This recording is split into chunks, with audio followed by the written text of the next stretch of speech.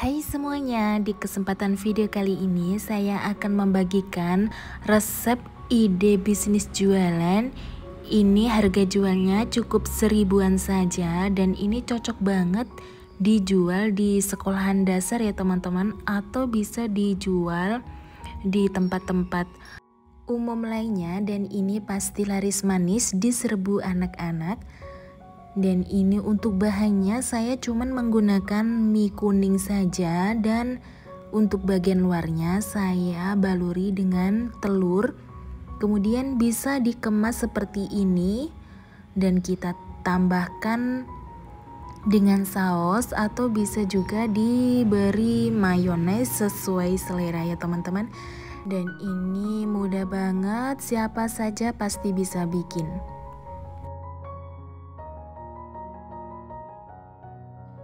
Untuk bahannya di sini saya menggunakan mie kuning. Ini perbungkusnya harganya cuma 2000-an saja dan perbungkus setara dengan berat 120 gram dan saya memakai tiga bungkus kemudian saya sisihkan siapkan wadah lalu kita keluarkan mie dari bungkusnya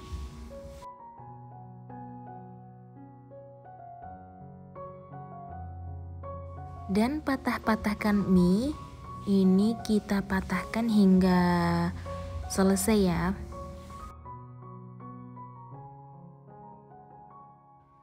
Dan kemudian cuci bersih mie kita bisa menggunakan ceting seperti ini ya teman-teman agar mudah untuk mencucinya. Pastikan benar-benar tercuci bersih Lanjut, kita rebus minyak dengan air mendidih, lalu kita bolak-balik seperti ini.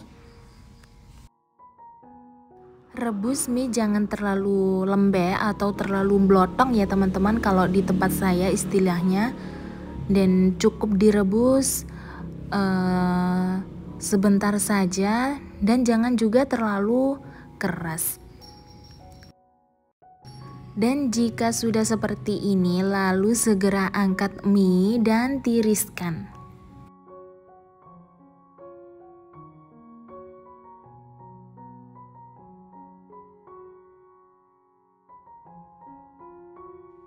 Siapkan wadah, lalu masukkan mie ke dalam wadah.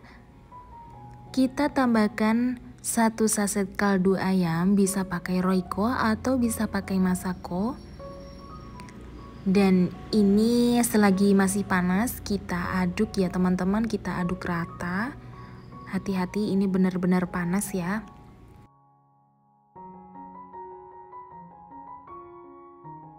Tambahkan 3 sendok makan tepung terigu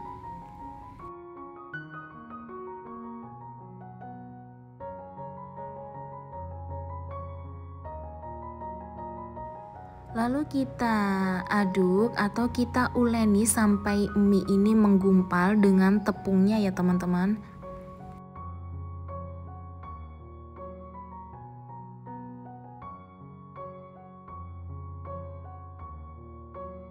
Untuk tahap ini kita menguleninya nunggu minyak agak hangat-hangat dulu ya teman-teman dan kita uleni sampai menggumpal seperti ini jika dirasa sudah bisa dibentuk, lalu kita siapkan tusuk sate seperti ini. Lalu kemudian kita ambil sejumput ini untuk beratnya bisa dikira-kira saja ya teman-teman. Lalu kemudian kita kepal-kepal seperti ini. Tusuk dengan menggunakan tusuk sate, kemudian kepal-kepal kembali agar si eminya ini lengket dengan tusuk sate ya teman-teman. Dan ini lakukan hingga selesai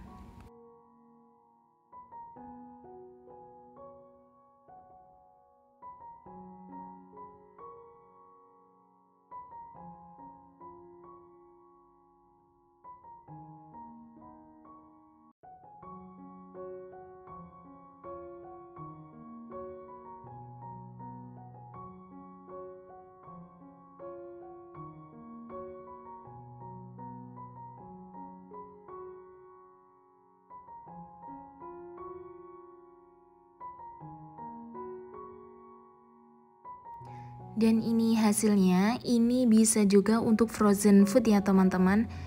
Dan kita siapkan satu butir telur.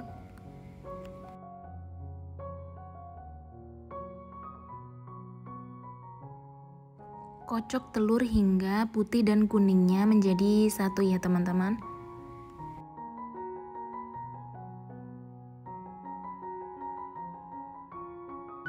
Kemudian siapkan minyak panas dan balurkan si mie ke dalam telur lalu kita goreng.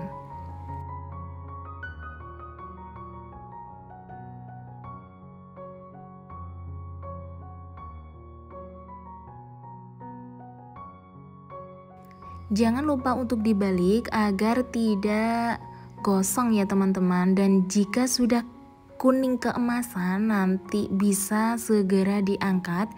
Dan ini untuk matangnya nanti nggak akan meresap banyak minyak ya teman-teman. Dan kita balik seperti ini. Jika sudah golden brown kita angkat dan tiriskan. Goreng dan lakukan hingga semuanya selesai ya teman-teman